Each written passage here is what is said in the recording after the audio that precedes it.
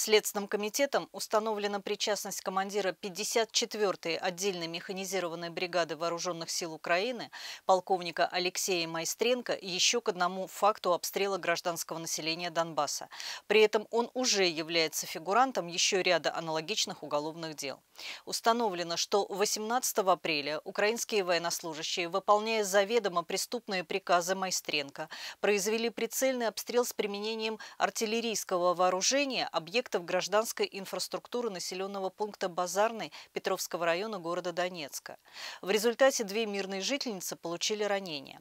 Следственный комитет продолжает сбор доказательств его причастности к особо тяжким преступлениям украинского режима.